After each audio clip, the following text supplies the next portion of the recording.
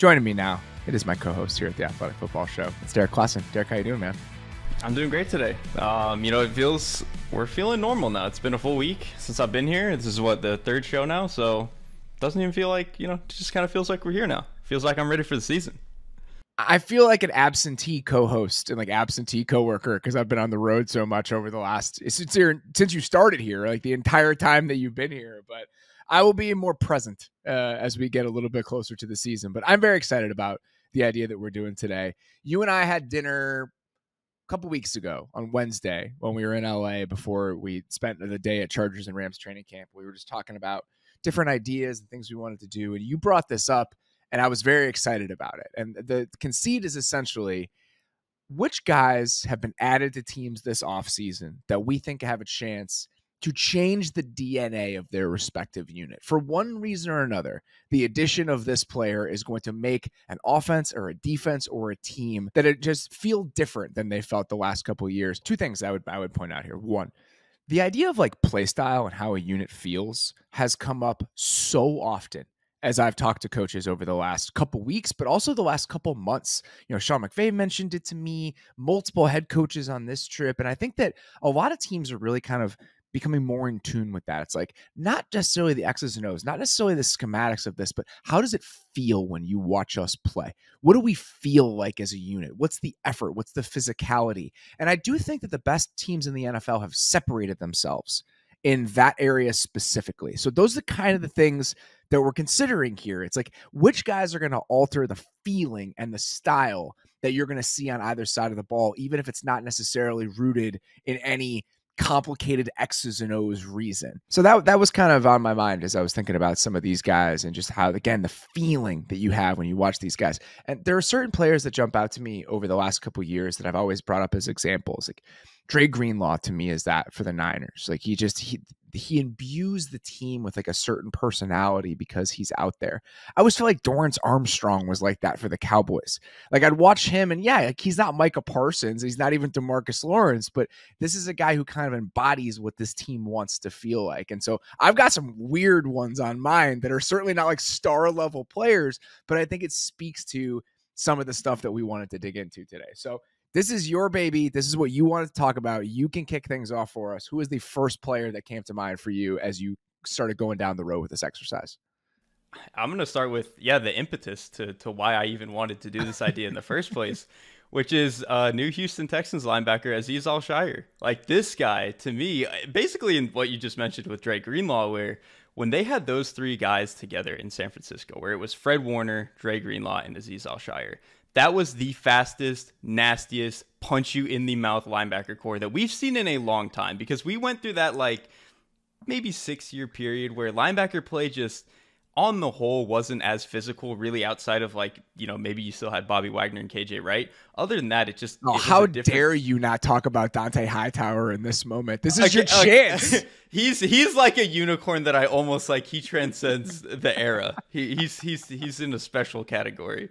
Uh, but really outside of yeah i mean the patriots and, and the seahawks there just weren't a lot of teams that were hitting you and then very recently we got that trio uh, in San Francisco, and and Dre Greenlaw and, and, and Azeez Al-Shaair kind of went back and forth about who was starting. You know, Al-Shaair started a little bit when Dre Greenlaw was hurt, but they were both really fantastic players. And you know, last year, Shaair kind of got to step out of the the San Francisco, um, you know, little bucket that he was put into, and I think some people when he left were like, well, is he just kind of a DeMeco Ryans guy? Like, was he just purely a guy who could play in the system? No, dude. You watch him in Tennessee, and he is still very much bringing incredible speed, like sideline to sideline range. He's very much a guy who, when he sees something moving in the box, he's not afraid to step down and hit maybe once or twice a game he he kind of steps the wrong way and he, he's not going to um, be in the gap that he's supposed to be but he's very much a guy who is bringing an intensity when it comes to taking on blocks tackling running through the face when when he's a blitzer like he is just very much a guy who operates at 100 miles an hour and this to me when i watched the texans defense i think they kind of had some players who embody what the defense is supposed to be right like up front you have will anderson that is just mm-hmm. a He's bringing his hard hat. He's going to do the thing that he's supposed to do every single play, 100% effort. You have that up front. Cool. Jalen Pitre in the backline. Goblin person. Like he is just you can hear the Tasmanian devil sounds in his head when he sees someone to his detriment sometimes. Yes. I, I, think, Oh. I, I just want to I just want to pull him aside every once in a while, and just be like, just take a breath. That's all just I want. like, are Just you- take a are you- breath? Just feel like, are you all right over there? But I mean, he he embodies the type of energy that you need. Again, he's not their best player, but he he just brings that that energy. But at the second level, I I feel like you didn't really have that. You know, Ryans got some decent play out of Christian Harris last year, but he's just not the type of player where I'm like, whoa, he embodies the energy of this team. And I didn't really Cashman, think we same got it. thing. Right, Cashman, Henry To'oto'o, when he played, it's like okay, he'll run around, but he doesn't really hit like that way. Shaair kind of fixes all of those problems where he is very much the dude who is bringing a ton of energy, a ton of speed. He's one of the better tacklers in the NFL, and I really don't think I actually think he's he's kind of a better coverage player than any of the other guys that they threw out there. You know, he's not known for that. He's not Fred Warner, but he at least gives them a little bit more glue in the middle of the field than I think they were getting last year. So he to me kind of completes this now they have a guy at every level of the defense who brings the exact type of energy that DeMeco Ryans wants to bring to a defense. And that to me is the type of thing that is going to unlock this unit as a whole. And so that's why I think he's just such an important cog in this machine. Even if he's by the end of the year their fifth best player, he's just the type great. of guy that im- If he were their fifth best player, that would be ideal if you were this Yes. team and this staff. There isn't a lot of acclamation on an X's and O's level, and that freed him up to kind of be the like the leader and the communicator they needed at the center of all of this. And watching them in the defensive huddle, he's calling defensive plays. So just having that not only as a real bit of energy, but also as somebody who can be fluent in a lot of these ideas and communicate them to the rest of the defense outside of Jimmy Ward, who was really the only guy with that sort of carryover last year. It's absolutely huge. And not only do you add a goblin in the middle, you have you already have goblin person Jalen Pitre on the back end. Denico Autry is a goblin person. I mean, it's only six games, six games that we won't see him, but we got a lot of goblins now on that defense, and I think that Azeez Al-Shaair really embodies that. So I'm not at all surprised that you wanted to include him here. All right, my ne- my first one here. This, this is I'm I'm doing some weird shit over over the next hour or so. I'm going with Will Dissly. Los Angeles. Chargers tight end Will Dissly. And here's the reason that I'm doing this. I went back and I watched some Chargers offense this this offseason. And the run game was disgusting. Like just like at a completely unacceptable level on so many different fronts. And one of the things I kept coming back to is you'd watch their tight ends try to block and it was unplayable.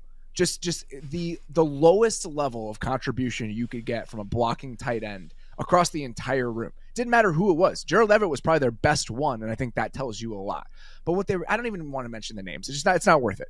It, it was so bad, and I think you could feel how that would affect other areas when they tried to run the ball. The Chargers had no money this offseason. They were actively trying to shed salary in as many ways as they possibly could. The one significant thing they did in free agency was go out and give a multi-year contract to Will Dissly to be there every down, blocking, receiving. Like this is just an NFL tight end. And Will Dissly is not a star by any stretch, but he is. I can't even describe to you how much better of a blocker Will Dissly is than what they were getting out of that position last year. So the fact that that was the move, the one move that was splashy that Joe Hortiz, their new GM, made this offseason, I think tells you everything you need to know about what type of team this wants to be and about how important somebody in that role is to play like that. So it might not seem like the craziest move or the most important move, but I think Will Dissly like truly has a chance with Joe Alt and other things to transform what we understand the Los Angeles Chargers offense to be in 2024. I think you actually nailed it. Uh, like, look at Greg Roman's offenses in, in Baltimore. Um, they always had blocking tight ends. Obviously, we always think of Mark Andrews, right? Like, he's not the greatest blocker. He's more of a middle of the field YAC type of guy. But you look at a lot of the other tight ends they had, whether it's like Hayden Hurst to me was always a blocker, kind of underneath type of guy. You had guys like Josh Oliver, Who's also there now, by the way, right? in, in, it's just in LA. this is like the perfect embodiment of what Roman wants in his tight ends. Is like it would be nice to have one guy who can run a deep crossing route, cool, but everyone else needs to be able to push somebody else into the ground or at least five yards off of where they're at. And Will Dissly is like the perfect guy for that. So I'm so glad you actually brought this up because the Chargers, this is a team that I think desperately needed some attitude. And, and, when you go out and hire Jim Harbaugh and you go out and hire Greg Roman and then you draft Joe Alt first or fifth overall, you're already kind of getting that. This is just doubling and tripling down on no. The offense is going to be significantly different than it was last year. And this doesn't even mean they're going to run the ball 700 times. It just means that when they run the ball, they want to be able to punch you in the mouth. They want to be able to win short yardage. They want to be able to win on the uh, on the goal line. They want to be able to win when they run the ball. And they have made every little every little move they can to go out and do that. I'm looking at the numbers right now. The only outside free agent who got more than $4 million guaranteed from the Los Angeles Chargers this offseason was Will Dissly. That's, That's the only one. More than four million dollars. It was only Will Dissly. The fact that could you imagine that you, how badly you need something like this if you have like two quarters that you found in your couch cushions, you're like, this is what I'm going to spend it on like that, that is it says so much about their priorities and that that's why i just wanted to mention him because like he there aren't that many guys in the nfl as we've gone away from bigger body tight ends who can do a little bit of everything. He's not great at anything but he's really solid across the board and again i think it just says so much that this is the type of player that the chargers wanted to go out and get with the first move they made in this regime and i do think it has a chance to make them feel a little bit different on that side of the ball. All right who's your next one here yeah, my next one is is kind of along the same lines and actually in the same city. Uh, this is very much a player who maybe isn't all that great, all that flashy, but I think he's just a guy who kind of embodies what your team is supposed to be unless you do some other stuff. That to me is Ram safety Cam Curl. This is I almost did him, and I actually really? have a Ram on defense that I will follow up with. But Cam Curl, I think, is a perfect person to mention here. So my thing with Cam Curl is, and I kind of got this like halfway through talking or like writing my notes on him and, and what I wanted to say. Every defense needs a henchman. Like just a guy who does every little odd job, will hit you in the face, will just be a pest. Like just annoying, right? Cam Curl. I love this so much. Cam Curl, when you watch him in Washington, is he the fastest guy? No. Is he the biggest or most physical? He tries, but he's not actually like a super imposing Kam Chancellor guy. But dude, he is just annoying. Like when they when they roll him down to the line of scrimmage and put him on a tight end, hands in your face, he is going to make you earn this rep. When they need him to go, go up and carry the seam, he's going to put hands in your chest and make you earn it. Like when he comes down into the box and tackles, he's going to make you earn it. When they put him in the box and like really put or even put him on the edge and really make him be part of the run fit immediately, he'll go try to hit a guard if he has to. He'll go punch a tight end in the face. Like he will take back the space as much as a safety can in the run game. Like he to me is just the type of guy that lets you do a little bit of everything. And in coverage, again, is he you're going to throw him at center field and he's going to run around there like Marcus Williams. No, he's not going to do that. But you can. Play they wouldn't ask him field. to. This exactly. this team played more split safety coverages before the snap than any team in the NFL last year. You are he has limitations, yeah, and that's why he wasn't hugely valued in free agency. But for this team specifically, they can hide a lot of his deficiencies and they can reap the benefits of the mindset. And that was something explicitly stated to me when I was there that they're trying to seek these guys out. And he was one of the players that they mentioned because they just want more assholes over there. Like, it, and you lose Aaron Donald, and yeah, that's tough. Like, it's going to be really hard to replicate Aaron Donald. But look at the guys that they added on that side of the ball. On the back end, Cam Curl is a perfect example. I think they want their Pukas on defense this year. Yeah. Who is going to come in and change the way that we feel? And it's hard to. That's not the most important thing. The most important thing is replicating Aaron Donald's production. But at the same time, you want a little bit of this, and that's why the second guy on my list, or one of them, was Jared Verse. Because Jared Verse is this exact thing up front. Even if he's a rookie, I totally get that. But if you're looking for ass kickers, that's exactly what he is. And there's more nuance to his game than players of this ilk are typically credited with as a he's a power rusher, but some of the hand placement stuff and the counters that he has off of that, it's not the deepest tool bag, right? He's not Osi Umenyiora, but I think he's going to give you enough from a nuance perspective combined with pocket crushing just over and over and over again. I was there for two days. The amount of times his name came up for guys on the sideline, just like noticing him during reps in 11 on 11, he brings it and you have that in the front end, guy like Cam Curl on the back end. So I'm kind of bullish on this unit overall. Is that I think that with a couple of the pieces that they added, there's just a little bit of a different DNA that they could have this year, even in a post Donald world.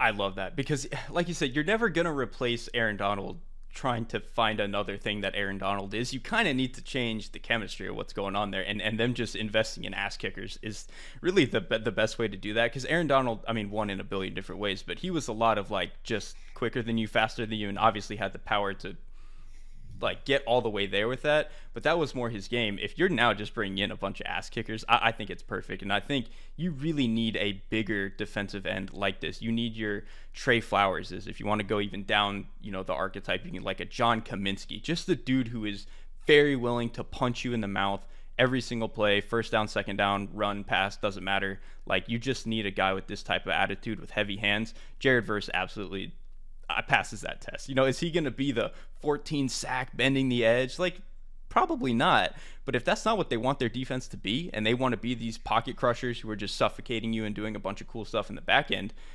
Verse is kind of like the best that they could hoped for in a class like this. So I I think this is absolutely perfect.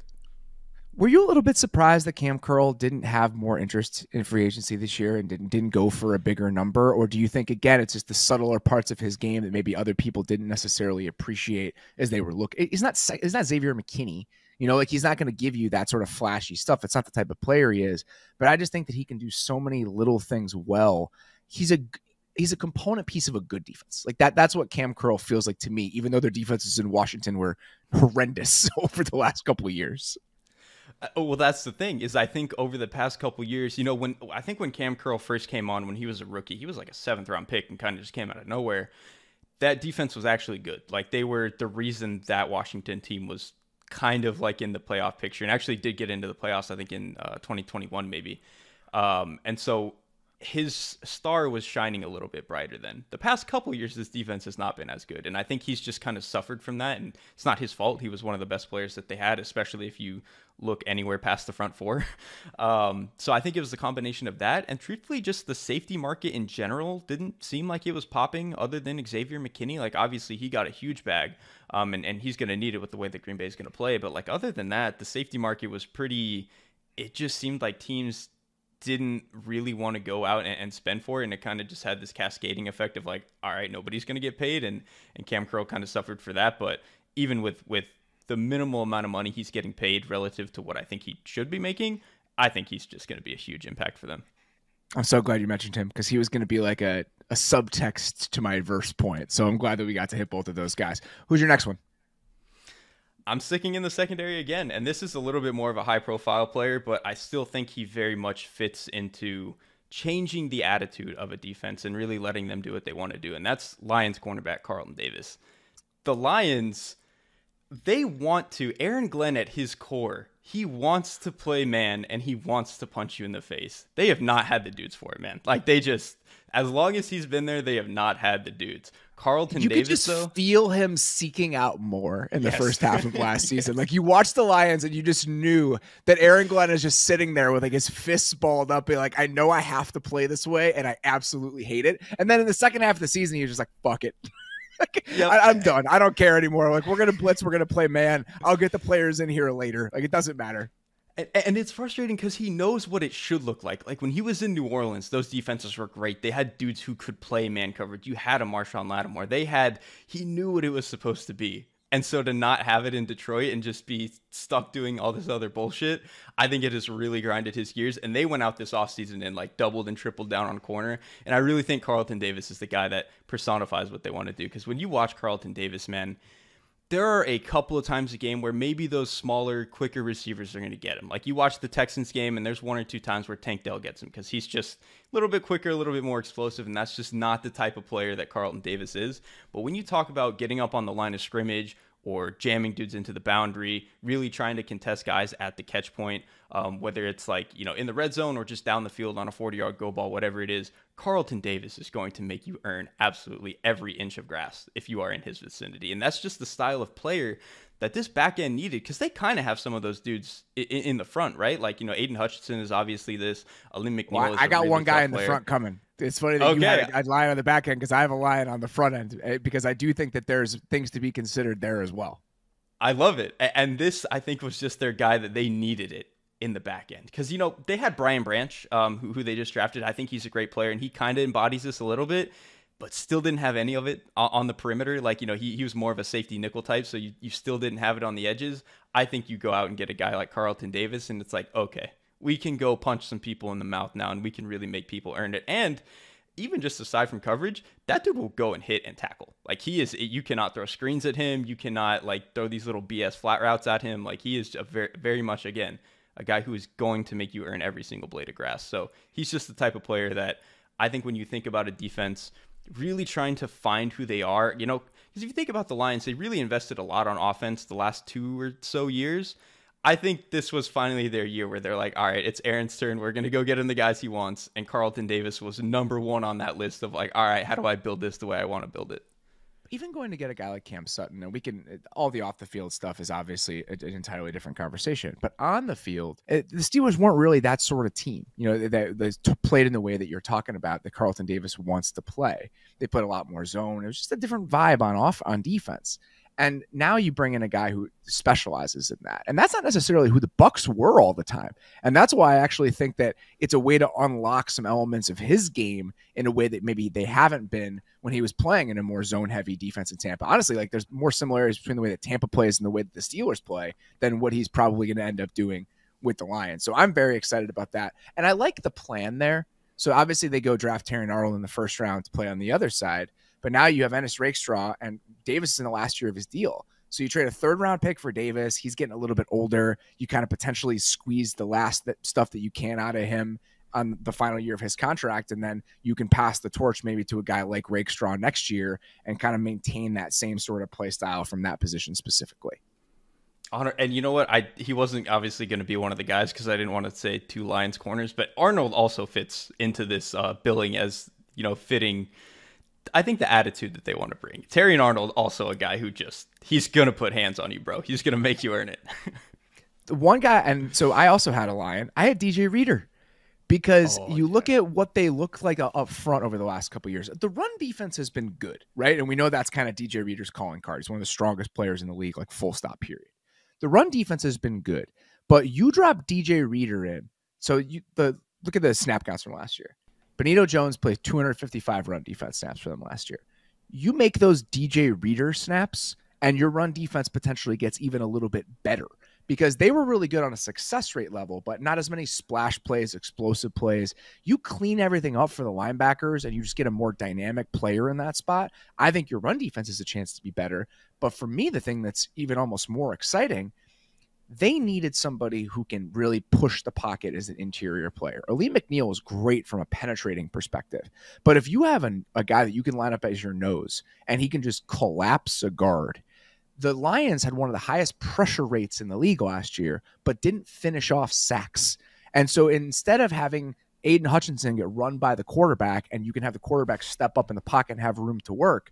Now you have a guy in DJ Reader who hopefully is just going to be collapsing one side of the interior of the pocket consistently. So to me, it just it all comes together up front in a way that makes more sense. That grouping of McNeill, Aidan Hutchinson, you know, we piece together the other edge spot plus DJ Reader. I'm just so much more excited about that. And it makes me feel a little bit better about this team not overextending itself to find that second edge rusher this offseason because I think the end result with a guy like Reader can lift your pass rush in a similar way, even if traditionally we're going to ascribe that more with edge rushers than we are interior players. And there's just not a lot of guys who give you that from the nose. Obviously, no. Dexter Lawrence and Vita Vea are kind of in their own. You guys are different, doesn't count. And then after that, there's really only a handful of other guys that are going to really give you that reliable push from the the interior. DJ Reader, when he's healthy, is absolutely one of those dudes. Like there are just not a lot of guys who command that much space and just make things easier. Even if it's, you know, obviously crushing the pocket is going to be one, but he's the type of guy who, you know, if you want to run some picks, run some stunts, run some games, he eats up a little bit more space and he can hang on to those guards for that half second longer and let somebody free, you know, free hit to the quarterback. So he's just the, I think you absolutely spot on with this one. Just the type of guy who kind of glues everything together up front, which is really what they needed because they have a couple of stars, obviously with Aidan Hutchinson. They just just needed this little guy to put it together. And again, we don't think about Reader this way, but last year he had uh, th- 314 pass rush snaps. I want to say he had 34 pressures on those plays. Benito Jones had 307 pass rush snaps, so almost the exact same snap counts in those situations, he had half as many pressures. Over the course of the season, that matters. Like if you can get 35, 40 pressures from your nose tackle while your three technique is that sort of player and you have a guy like Aidan Hutchinson, I just think that this group could feel a little bit more dynamic. I know they lost Cominsky, but apparently Levi Onwuzurike has looked good. Like I have faith in what this the step that this defense overall could take. And I think guys like Davis, guys like Reader are, are part of the reason for that. All right, who's your next one? This is your fourth one, right? I think I think so. So this one, I tried not to put many rookies, and I tried not to put many high profile two. rookies. But there was one that it just felt you almost had to do it because it was too obvious, and you might even have him on your list. Was J.C. Latham for the Tennessee Titans? Like, so I actually don't. I was I was debating whether or not I wanted to have J.C. Latham or Lloyd Cushenberry because I feel like the, I, the moves same. that they made. I, I do think that it has a chance to get there. I just I couldn't get all the way there with either one of them. But I we were in the exact same headspace and like trying to find a Titans offensive lineman that might fit this. I, was literally debating between Latham and Cushenberry, and in my head it was like, okay, Cushenberry helps Levis a lot. Um, yes. You know, he's he's a he's a much thicker player than than Aaron Brewer was last year. Okay, that is stylistically different, but then you just look at Latham, dude, 340 pounds, and especially so that alone is like if when you take a 340 pound tackle regardless of any other context you are like all right we are trying to kick somebody's ass yeah but you're making you a statement there that, yeah. that's not a subtle decision that you're making and i just for context like they he it was a no doubt about her thing. Like they I think mm-hmm. they would have been comfortable with Alt or him. I don't think that they were necessarily sad that they had to draft JC Latham as the second tackle. Like they were in a different tier than the other guys at the position. And I think some of the things that you're talking about, which is the built different sort of approach to this, that he is one of those guys. It, it absolutely matters. And then you like the other thing to me is the context of this is look at the Titans tackles last year. One, they were obviously just bad, right? But they were more of like finesse type of players. Like Andre Dillard was this way. Uh, Jaelyn Duncan, who was a rookie that was playing for them, is kind of this way. Like his technique and agility are good, but he's just not a guy who has a ton of anchor, not a ton of sand in his pants, who's going to move people in the run game. Uh, Nicholas Petit Frere on the right side, also not the strongest guy. Like this is just not a unit that had a lot of beef, a lot of strength on the edge of their offensive line. You go get a guy like Latham, who is 340 pounds, can absolutely just bully people in the run game by himself, let alone whatever you're going to do with double teams in an offense like this. It just ah, it gets me excited because this is like when you think about the Titans being good and cool, this is what they were, right? Like they were just bullying you in the run game, and obviously they don't have Derrick Henry there now, so it's going to be a little different. But it wasn't but just that. It was like the way right. when you had Ben Jones and you had Saffold mm-hmm. playing at a high level, and you had Lewan. Like this was one of the best offensive lines in the league. And even if from a pass protection standpoint, it wasn't necessarily to that same level. What they could do to you on the ground was fun as hell to watch. And we, even if they wanted to be that sort of team over the last couple years, they did not have the horses to do it. Like they were incapable playing that way. And it feels like now we're at least inching back closer to that place. And that's fun. That's exciting. And it's even more exciting too because Latham, the only really criticisms you could have of him coming out of college were okay, every now and then he'll dip his head and he, he'll kind of lunge at guys, and every now and then he'll be a little bit slow to maybe read something and his feet will get stuck in the mud. Uh, dude, his offensive line coach is Bill Callahan. Like, yeah. he's probably going to figure it out. And so, if you have all this stuff getting figured out and you're one of the most physically gifted players at the position, uh, this could be, again, maybe not year one special, but I think he'll be good year one. And then maybe year two, year three, just absolutely murdering people. I get this from a long term perspective. I honestly think if we're talking about this unit in 2024, I think Cushenberry is maybe the better person to mention on, yeah. on, on two different levels. One, what he's going to do for you before the snap. And they consciously sought out a veteran center to pair with Levis because I think we've seen the benefits of that all over the league over the last five, ten years. And I think there's hoping to get some of that. But you mentioned this he's so much more stout from a pass protection standpoint than a guy like Aaron Brewer is. And you watched that team last year with Brewer at center and Brunskill at right guard, and teams are just piercing the pocket against them over and over and over again. And so you can have better pocket integrity for a guy like Levis who's gonna stand in there. I think it makes a huge difference. And this to me signals kind of where the league is going overall with some of these centers is centers are getting bigger as we're getting to more of a pocket integrity pri- like prioritization and downhill run schemes are kind of becoming back in vogue i think that we're going to see these guys grow and grow and grow and just the size that Cushenberry is giving you compared to what they had last year, I think that could potentially go a long way, especially when you combine it with the mental stuff that he's potentially going to be bringing to the table. All right, I'm, I'm going with another rookie here. And this is somebody that when we decided that we were going to do this exercise, he was one of the first people to come to mind because I had just been talking to a lot of people about him and just watching his college tape.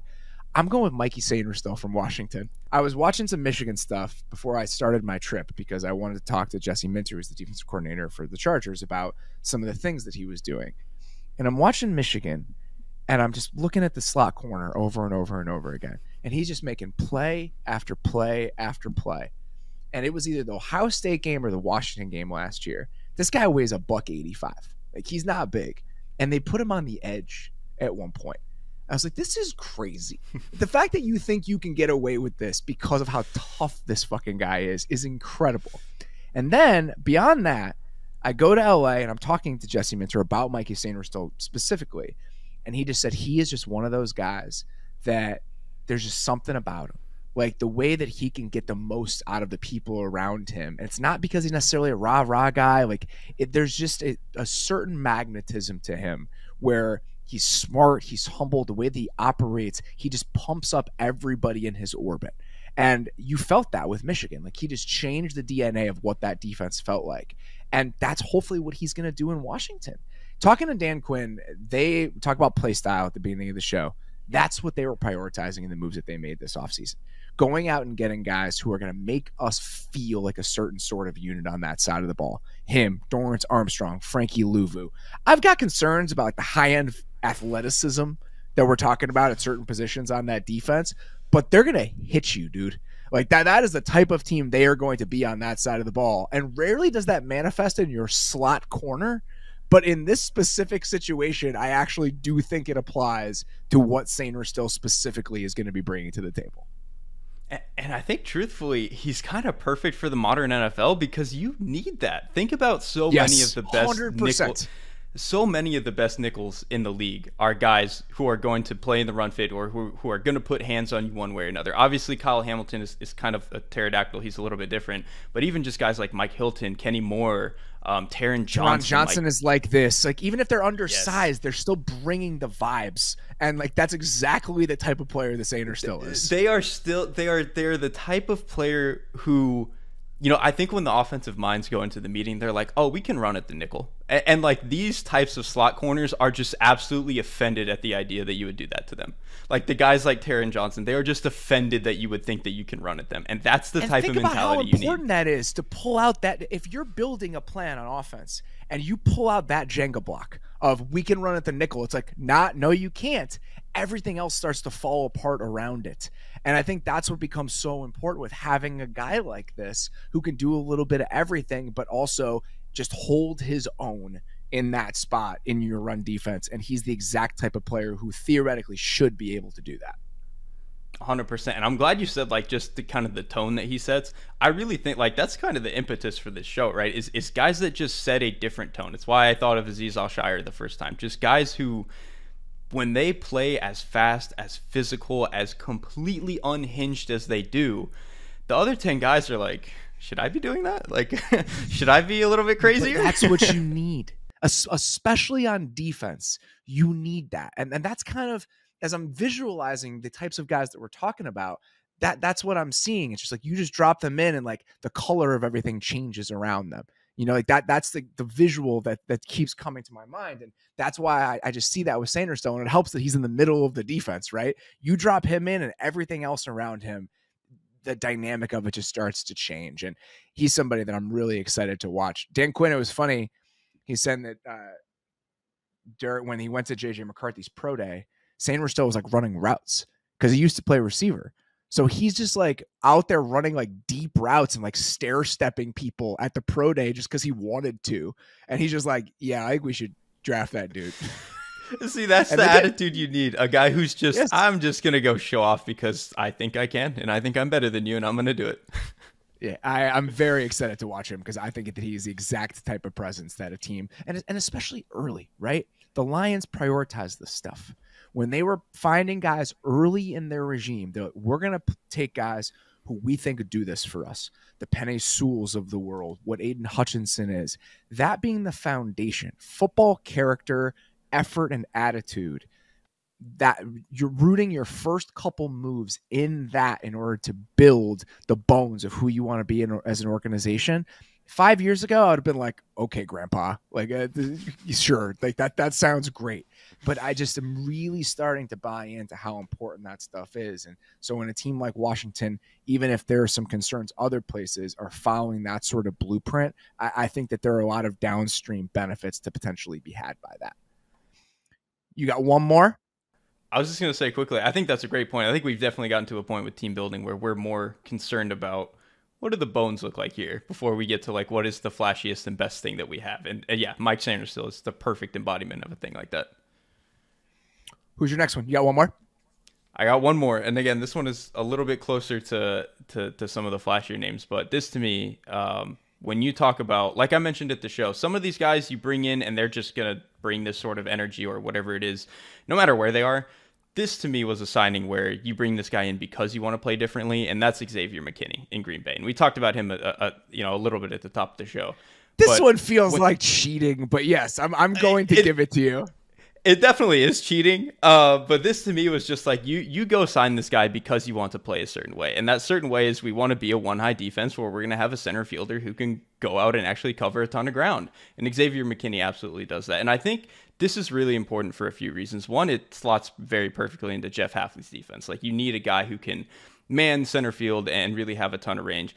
But McKinney also has a lot of flexibility. Like if you remember him at Bama, he actually played a little bit more kind of in the box, kind of out of the box, a little bit more split safety. He's very much Even a guy who can handle career, everything. He yes. was moving all the all with Patrick Graham the Giants. Yeah, in Patrick Graham's defense, he was a guy who did a little bit more of a little bit more of everything, and he didn't need to do that as much last year, but I think he's very much a guy who can, and I think that gives Hafley a little bit of flexibility. You think there's a lot of structural diversity to what Wink Martindale is trotting out there? You, know, you don't uh, you have know, to wear as many hats as a safety. he's he's one of those guys where it's like when you know when you talk about scheme, I love to talk about personality, and God, they've got more than anything in terms of the soundness of it it's yeah. they're, they're, not all the way there. Overdo it. Like the ratio exactly. still matters. Play, I think the in my mind the pie chart of schematics versus playstyle, the the chunk for playstyle has gotten bigger in as far as how I define good teams and the prioritization. But you still need a little bit on the other end of it. That actually does still matter. I think this is a very good one. I don't want to talk too much about this because um, I don't want to spoil some Packers defense thoughts that I have that we may I may be sprinkling into some uh, some shows we may be doing here in the near future. But I'm 100% with you on this because I think that they're going to rely on the coordinator change to change the personality of the defense with how they play. But I think that having this come in from a changing the person or changing the DNA of the schematics and changing like structurally what they're able to do, I 100% like that's why they had to go out and make a move like this. And I'm excited to see how it works out. Exactly. Because if you don't have this guy, it, doesn't work. Like the, the thing that you are trying to do defensively, schematically, does not work if you don't have a guy who can cover as much ground as McKinney can um, in the back end. And even if they're going to play as much man coverage as they want to, and, and they're going to do a little bit with fiddling who is playing in center field, McKinney can play man to man coverage. Like he he can absolutely run and cover people that way. So he to me is just again, this is not necessarily a guy who comes in and changes the DNA of any defense. Before a team that wanted to change their DNA in the first place, he's the guy you absolutely need, or it's just not going to work the way that you think it's going to work.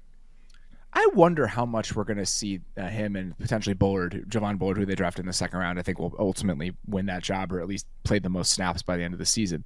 That's Bullard's selling point too.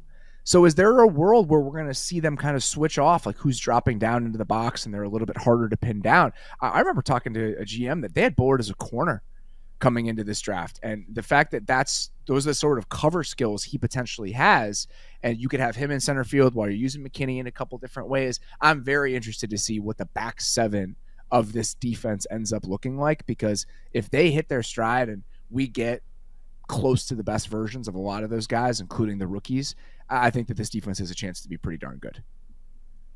And, that could be I've a got, really dangerous. Oh, I was just going to say really quickly I remember when Brian Flores was in Miami, they obviously ran a ton of cover one, but they would do a lot of fiddling with who was actually the center field player. Mm-hmm. If you can do it well and you really have the guys who can play man to man, play in the hole, play center field, and you have two guys who can do it, Jesus, it is really difficult to play offense when you don't know who is coming down and who is playing in uh, in the back end. And that's ideal because even in a world where we were playing more single high safety than we are than we are now. So let's say five, seven years ago, there was still defense. I think of those Mike Zimmer Bengals teams, right? Like they're not playing the amount of quarters in cover two that most of the league is playing now. But because the safeties were interchangeable, and now I'm gonna I'm gonna forget the names of those guys. It's gonna drive me absolutely crazy. Like the the two interchangeable safeties that they used to have on those teams. Uh, Isn't it like way, Iloka was one of them? Now, Loca, yes, George Iloka. That's the exact name that I was searching out. And that, so the, when you have those two guys and they are interchangeable, even if you are playing a lot of single high, it's just hard to get a beat on you. And so if the Packers have that sort of approach, I, I think that it could go potentially a long way. My last one for real here, it's kind of adjacent to the DJ Reader stuff. Arik Armstead going to Jacksonville. Having an interior pass rusher that you can pair with Josh Hines Allen and hopefully Travon Walker, it's so nice like I've I liked some of the guys that they've had over the last couple years, but a real difference maker dropped into that spot. I think it has a chance to transform that unit. And with all of the questions they have on the back end, I think has a chance to transform the defense overall. So Armstead, trouble staying healthy. We know this, but I just think that they've really missed that sort of player in their overall offering on that side of the ball the last few years. And when he's at his best and he's right, it's hard to find that many interior players who are going to disrupt and affect the game in the way that Arik Armstead has a chance to. I almost put him on my list. I'm so glad you did this. I I am like the longest term Arik Armstead appreciator, dude. I, there's just guys who are like, what is he like, six seven, two eighty, like just absolute vines for arms. There's just not a lot of like interior players who who look like that. It's like him and Calais Campbell, basically. Um, yeah. I just think that that's such a it's such a cool play style. Like it to be a guy who you know you can play three tech. You can even kick him out a little bit to like base end. Like he's just a guy who brings so much physicality, so much length that it really kind of frees up a lot of space for for a lot of the other players behind him. And he's really just a huge weapon when you talk about trying to mix some games up up front. And I actually think that that's huge for this front because Travon Walker is very much a guy who you can kind of put in a bunch of places. I think Josh Hines Allen even though he to me is more of like a pure edge guy, he's such a good athlete that you can stunt him, you can twist him, you can do all this uh, uh, other stuff with him. And then their linebackers are actually pretty, pretty good blitzers. So now you've really built this defensive line that is like you could get anybody moving in any direction and you have the length, strength, and, and athleticism to, to really, really cause problems. I think you give that type of personnel to a defensive coordinator like Ryan Nielsen, th- there's a very good chance this could be a dangerous unit, especially up front. He just loves his trees, man. Ryan Nielsen just loves his trees. Like you look at the types of guys that he has sought out. You know the the way that those ends are built in, in New Orleans. They go out last year and like they draft Zach Harrison in the third round, who's like 6'5", 270. Calais Campbell comes on board. Bud Dupree has a lot of size. He has a type. Ryan Nielsen has a type of guy that he wants up front, and Arik Armstead very much fits that bill two guys I wanted to mention that one specifically that is like hilarious and a punchline, and the fact that I'm even doing this is so silly, but I was just there and I do think it's going to make a little bit of a difference. Mack Hollins in Buffalo. The fact that you have a guy like that, a receiver who wants to block and approaches his job that way, I, God bless Stef Diggs, right? Like he was an incredible player for the Bills the Bills receivers were not defined by their blocking prowess over the last few years. And as the personality of that unit has changed in the last 12 calendar months with the way that they can run the ball, a guy like Mack Hollins, who is going to play more than you think he's going to play for this Buffalo Bills offense, having somebody come in that's just going to block his ass off. And like you mentioned, have the other receivers kind of look at that and say, huh, I guess I guess we should do that. I, I do think that is a positive influence potentially on the overall formula that the Bills have. And the other guy I had was Andrew Van Ginkel from Minnesota. And it's for this reason. Minnesota last year, they had ends that were cosplaying as flexible pieces, right? like asking DJ Wonnum to drop back into coverage 100 times over the course of the year is not his game. He did great at it given his limitations and he seemed game to do it but dropping a guy who actually is able to play that way into who you are as a defense, it feels like there's going to be less masquerading as a weird defense and le- more we are a solid weird defense. Like we have the right pieces to do what we're doing here and we're going to take this from strange and potentially annoying to as effective as a defense like this can be in 2024.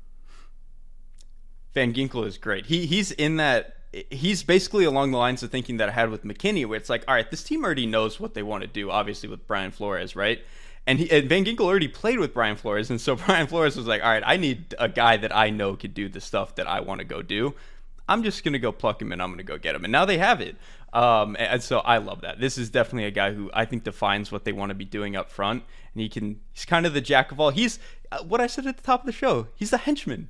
He's yes. their henchman type of guy. Like he literally has. He literally looks like one of the bad guys in Die Hard. Like that's exactly what he is. Yes, he, he's, he's perfect. Carl. Like yes, like so he is absolutely fits the description for for what they need over there. And then Mack Hollins, um, I actually think he goes perfect with with Keon Coleman. Like Keon Coleman is actually a guy who I think coming out of college has size and he's very willing to block. So you go from like you said, Stef Diggs, love him, great player not a guy who's really throwing down a whole lot, especially on the perimeter. You bring in guys like Mack Hollins and Keon Coleman, who are like 6'2 plus, 210 plus, just absolute huge human beings. Yeah, man, the attitude of your run game and your offense is probably going to be a little bit different than it was last year when it was a little bit more finesse. We're doing a bunch of empty quick game type stuff. And listen, this is not the most important thing, run like receivers on the edge blocking, but I've said this a bunch of times. I think if you stacked up the list of the best offenses in the league and the list of the best off the offense with the best blocking receivers and the most willing blocking receivers, I think they'd be the same list. For the most part, I think there's a complete the Venn diagram is a circle between those two units in my mind in, in, in the current NFL. So being able to do that, I, I think, does go a long way. And if you can turn a couple James Cook 12 yard runs into 40 yard runs because of what those guys are doing downfield over the course of the season, those little things add up. So I get it. It felt silly to like throw Mack Hollins onto this list, but I was just there talking to people about this, and it felt like it was at least worth bringing up. I loved it. All right. That is all we got for today. One note before we get out of here. Just wanted to give you guys a heads up that there are three new episodes of Jourdan Rodrigue's Play Caller series out right now. You know, the show debuted last year on this feed. Obviously, she talked to all those guys in the Shanahan tree. She has three new interviews with kind of up and coming coaches in the NFL Mike LaFleur, the Rams offense coordinator, Jerrod Johnson, the Texans quarterback coach, who I, have gotten the chance to talk with a couple times over the last year, and I think is a real kind of budding star. I think will be an offensive coordinator sooner rather than later. And she also chatted with Panthers secondary coach Jonathan Cooley. So, really fun listen. I think you guys will learn a lot about what it takes to be an NFL coach. So, to check out those episodes, search the play callers on your favorite podcast app. On this podcast, that is all we have for today. We will be back on Thursday. We're going to be doing top 10 defenses on Thursday. We are going to do them today. I probably said that, but uh, I didn't have much time to prep for that with all of my travels. So we're going to do that a little bit deeper into the week. And then another fun show coming your guys' way on Friday with a great guest. So look forward to that. For now, that's all we got. As we get into the season, a couple requests from you guys. One, if you're watching this on YouTube, subscribe to the YouTube channel we're going to be doing all of these shows on YouTube over the course of the season. You know, hopefully doing some some clips from the shows, all that stuff. I'm terrible at this part of my job. I would like to say once or twice a year, subscribe to the YouTube channel that you are potentially watching because uh, we're going to be leaning into it in a way that we probably never have, and I would love that. If you like the show and you have liked the show for however long you've listened to it, leave us a rating and a review. If it's on Apple Podcasts, just go tell us why you like it. Leave a review. I would consider it a personal favor to me, but just these are the kinds of moments preseason, after the season, when I think to check in about this stuff. So if you could do that, I would very much appreciate it. For now, though, that is all we've got on this show. We'll be back on Thursday. Talk to you guys soon.